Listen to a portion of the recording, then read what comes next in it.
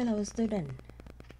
I know today you uh, enjoy your spring break, but few students emailed to me about the homework assignments number 6. So that's why I try to post the instruction for make sure that after the spring break or during the time on spring break if you feel uh, want to start with assignment number 6 it's ready for you. Okay, so this assignment is uh, have two part, part A and part B. So I just want you to go with this is the file uh, put on homework assignment number six. You can see that's the page five eight nine in drawing book, but you cannot find it if you not order the book. So basically, this one is covered two part. This is part A. They start from here to here. They give you one floor plan and elevation. The floor plan right here, you can look at this. This is the seating. So you look at this. Around here. You see the low wall, and this is the seating. And you see this one is uh, the back seat. So now, if you look at elevation, for example, you see this is two seat right here you can two seats right here. And this high elevation to show the high. So this is the high for ceiling right here. And in the second part right here this is the seat back in the right here. So the high is like this. And behind of that is the low wall. And you can see that this is the low wall. Is here the highest one right here. So basically they give you the floor plan and they give you elevation for the height from that one and this is interior um, perspective. So you see the seating. When you stay right here for example you see three seats right here and also you see two seats right here with the back seats right here and the corner. After that you see whole thing around the seating. That's the low wall right here around right there. So use this one for elevation when you draw the viewpoints. So you stay right here you look both sides and you need to draw follow the way we do before for two point perspective. After that use this one like guideline for dimension elevation height okay? This part A. And if you want to look this one you can go with the web link. Right here I give you the link they have instruction for part A this is part A and you go with the link. We have um, one short video for instruction for you can do uh, part A. Today I will share with you about part B. Part B they give you the shape like that the floor plan like that and you look at this. They have three different projects and each of them have different angle. You can see this one is the lowest one. They have the angle like this. If you compare with uh, the picture plane after that we have the big part right here. They have the angle. Look at this. It's bigger. And the other part right here on the right side they have the angle is different. So that means this one you can call that the multi uh, multi view. Because each of them you can see like two view and the other one you can see two view a different one. So now with this one they give you the floor plan right here and they give you elevation right here. Elevation they give you the guideline for the height from the building. For example you see the low part right here the first one and the highest one from that building is like this. And the second part is right here the big part from here to here and you see the height from this one. The little one right here is this one. And you look at this the angle right here the triangle and this one. They give you the guideline for each of um, uh, elevation height. So floor plan right here elevation right here and the guideline right here. They ask you to draw 116 inches equal 1 feet 0 inches but you look on architecture scale we didn't have 116 inches but we have 1 8 inches equal 1 feet 0 inches. 116 inches that means it equal with 1 over 8 inches over 2 so that means if you see the scale is 1 8 inches that means you need to double scale. Smaller for make sure you have the scale 116 inches. Instead of that i think that's um, maybe some student not familiar with the architecture scale they will get confused. So that's the reason when i i have you to solve part b i need um, you to do uh, your choice. Either you can join 116 equal 150 inches or you can use the scale 332 inches equal 150 inches. Because I'm sure that on architecture scale you have 3 over 32 inches equal 1 feet 0 inches. You don't need to you know convert from uh, 116 to 18 inches in the scale okay? So now I have you to do for part B if you do the B this is the floor plan. And this is picture plan. This is horizontal plan and this is ground line. So three of them right here they give you the guideline like this. So you need to follow this one when you start to do the part b assignment number six this one this one. Okay so now uh, for example this is the projects and I use the scale 332 inches equal 150 inches because this one if you're not familiar with architecture scale you need to transfer from 1.8 to 116 maybe you get confused. So that's why I circle right here for make sure that you can do 332 inches equal 150 inch to draw for this homework assignment.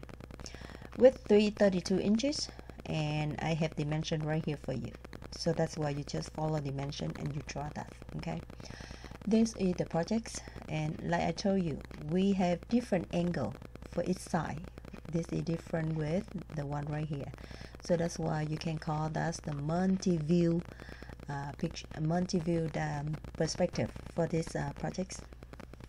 So now step by step for easy to do. The first one, I need you to draw the projects and after that picture plan. The line is touched with two points from the projects. So you draw this one, I call that picture plan. And the second one is the horizontal line or the one in your version. You can see that on this line and last one is the round line okay so now you need to create the standard point standard point the one you can see both sides from the building you see this side and you also see this side also. And I need you assume for the angle from the end from the left one to the end from the right one you make the angle around 30 degree. And that's why you can stand right there to look at the projects 30 degree because uh, that's why you can see both sides okay. So if you see the red line right here I need you create that for around 30 degree and this is the standard point so now you look at the dimension one more time. I use the scale 332 inches equal 150 inches and I measure from the round line to the horizontal line around 10 feet uh, more and plus plus uh, I mean uh, plus and minus that means around 10 feet right here from the round line to the horizontal line. After that I have 34 feet 0 inches to the top of the picture plane if I use this scale okay so now I put right here from the horizontal line to the 4 feet that means where you need to stand right here to look at the projects. Is around 4 feet. So 34 subtract for 4 that means from the picture line to the center point is around 30 feet zero inches. Okay so right there. So the first one you need to create this one. Now after I ask you to do for picture plane horizontal line and round line I call that's number one that means you draw three of them number one step one step two I need you from standard point you create parallel line to each side from the projects. For example, this is the right side. And you see that this line is different with this one. The angle is different. And you want to create for the parallel line for each of them. So for example, this one. I create from here to parallel line to this one. And I call that vanishing point right one. That means the vanishing point on the right side number one after that I do this line you see the longer line with the angle is different right I draw the line parallel with that one parallel with the, the long one right here. And this is on the right side so I call that vanishing point right 2 okay? Okay I repeat. From standard point I draw the line parallel with the short one right here. And I create when they cut with the picture plane and I call that vanishing point right number one I do the same thing with that. The line parallel with the long one right here. And I call that vanishing point right number two when they cut with picture line okay?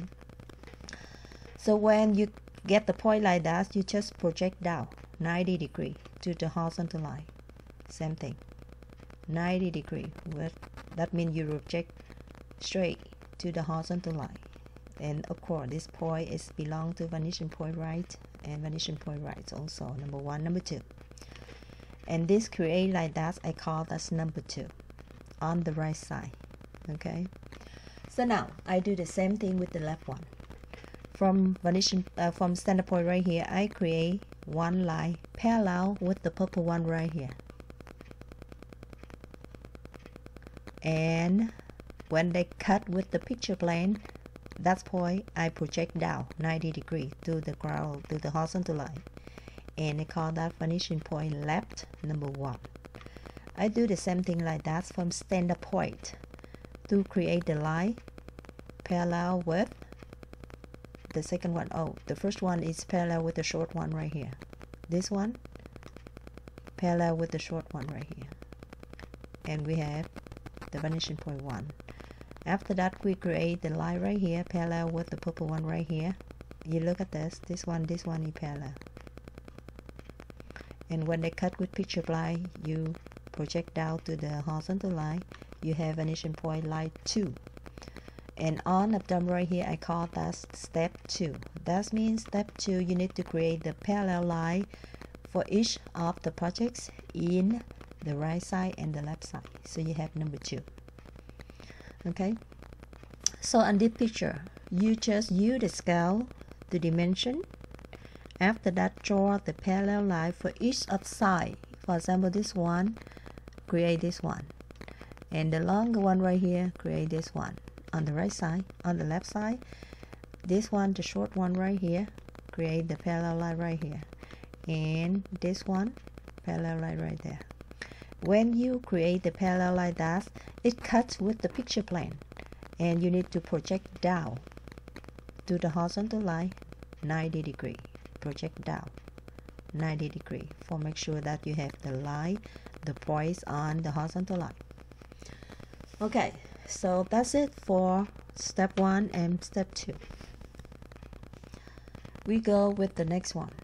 Remember on the point right here we need to mark it for make sure that you go to um, the, the next step. You have the point already.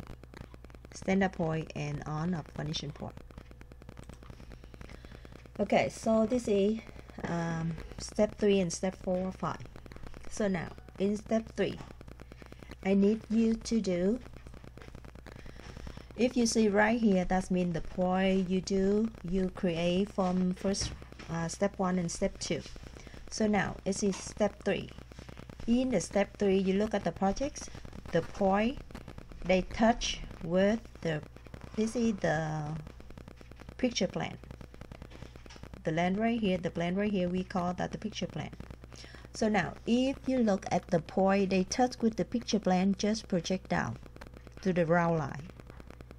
And I call that's number 3 you see that's project down and I call? That's number 3 number 3 so now you look at this. On the top right here remember on the first one when you see on the projects they call that the elevation. And I just move the elevation right here for make sure I have the height line.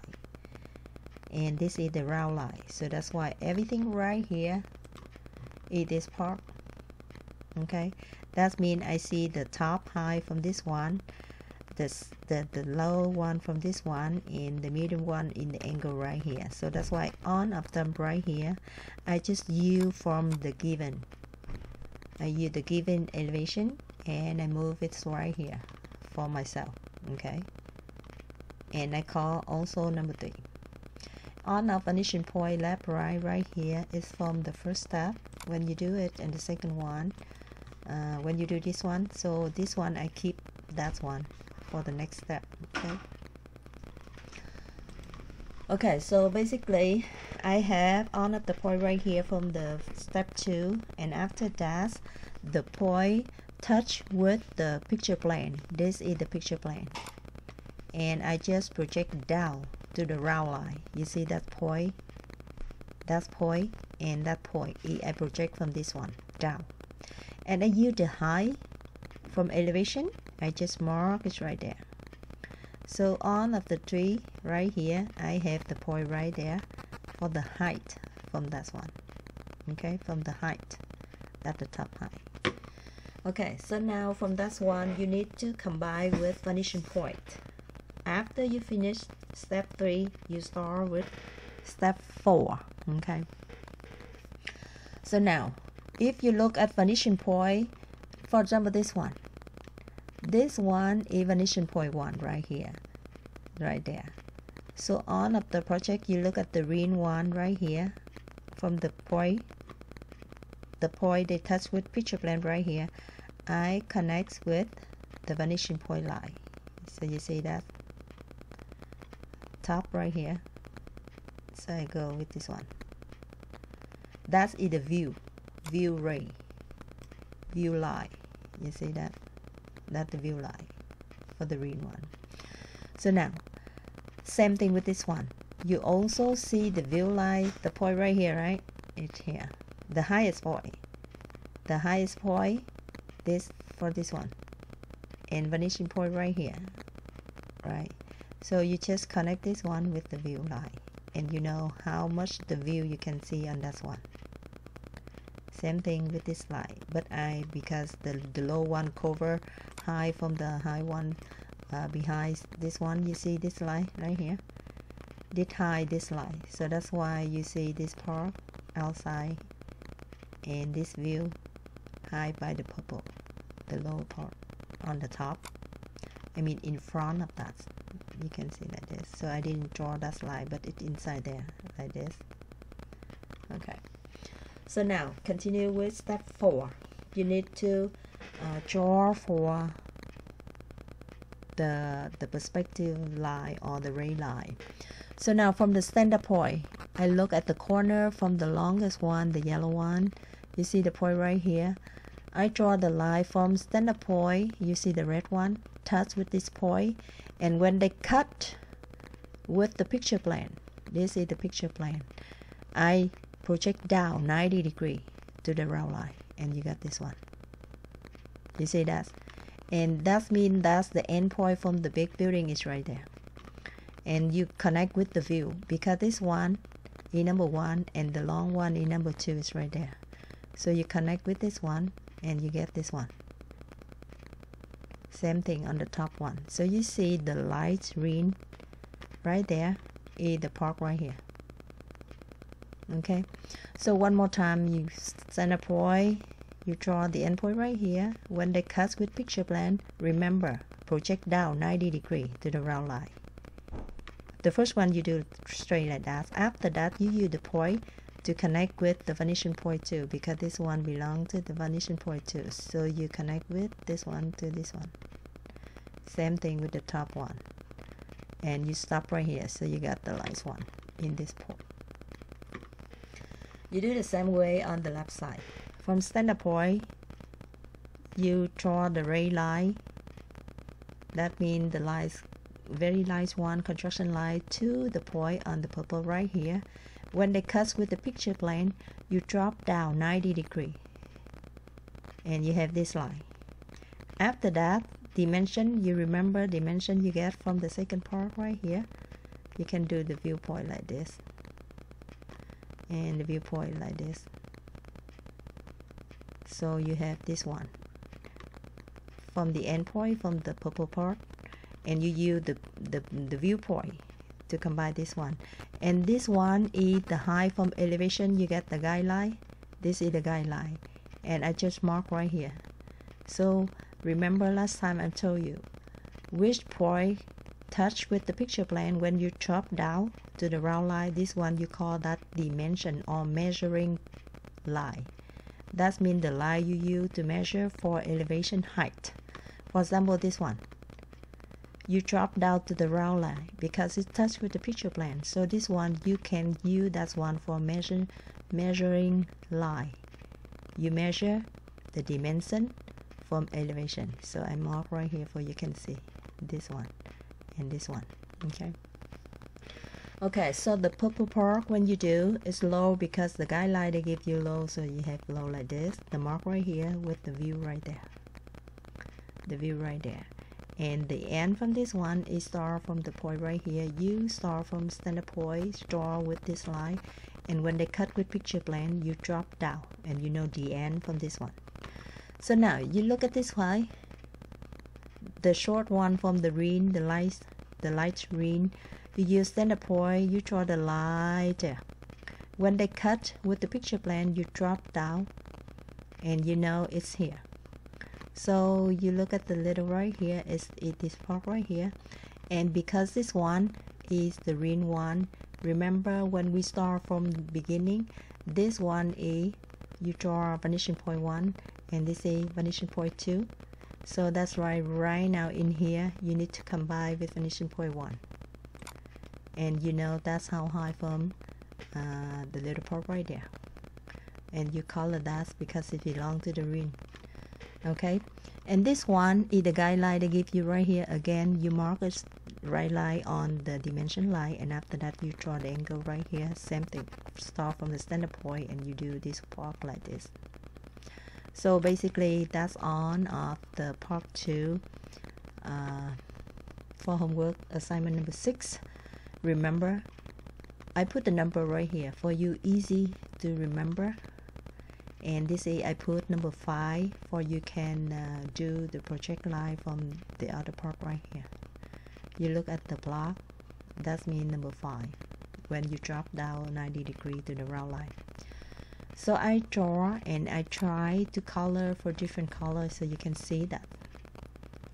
After you do this one you want to double check for which one you do and this is the way how do you check on of them. After you do you see that you see the guideline I use from elevation one they that's the given information. And on of them right here I try to do different color for you uh, easy to look at this but you can do same color depend on you. This is the guideline for you can do home projects. And this one I just separate for make sure that you can do step by step easier done one more time you can use the scale 116 or 332 it's up to you. If you use um, the scale 116 and you didn't see on the uh, on the scale architecture scale you can use 1 8 and you time uh, you divide by 2 so that's why it's smaller than 1 8 because it's 116 it's smaller than uh, 1 8 two times. So that's why you need to I mean divide by 2 when you do 1 8 scale. And if you follow me you can do 332 inches equal 150 inches because this one is on the scale. So it's easy for you and if you use this scale this one I dimension for you already. I'm sorry. So you can do step by step in part 2 and you do this one. Uh, you finish the homework num uh, homework assignment 6 part B okay? Okay so part A one more time. You can go to the link. I have instruction over there so you can do that part A and after you finish for you know um, perspective point ready you need to add two human figures. One people sitting and one standing. Discussion. So uh, I need to see your I mean you draw two person. One sitting and one standing. Talk together one people sit on the chair and one people stand around you know outside and talk with uh, the other ones.